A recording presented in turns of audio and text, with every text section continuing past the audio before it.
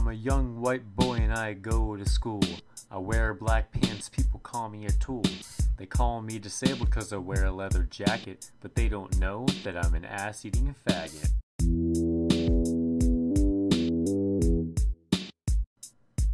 There's an emo girl that's in my class. I talked to her, but she gave me sass. I stabbed her in the chest with a piece of glass. Then I proceeded to eat her ass.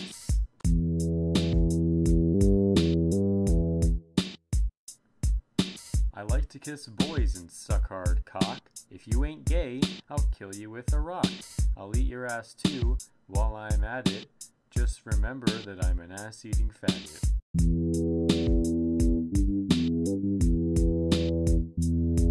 I'm an edgy, disgusting, retarded inbred. Some people wish that I was fucking dead.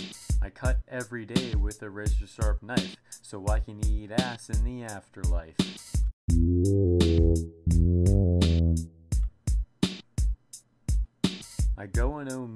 To find some gay pricks. I couldn't find any, just a bunch of chicks. I was very depressed and I need my fix. I guess tonight I'm not beating my dick.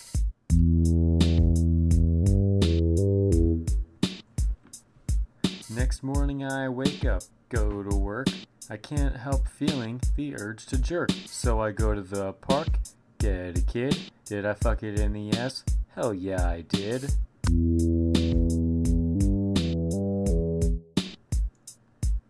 If you're wondering why I raped a child, I know it was weird and kind of wild, but it's not illegal nor was it filed, cause after I came, I saw him smile.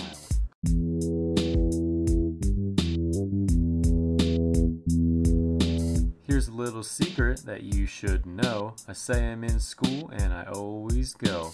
I'm a good student and I get straight B's. That's cause I'm really 23.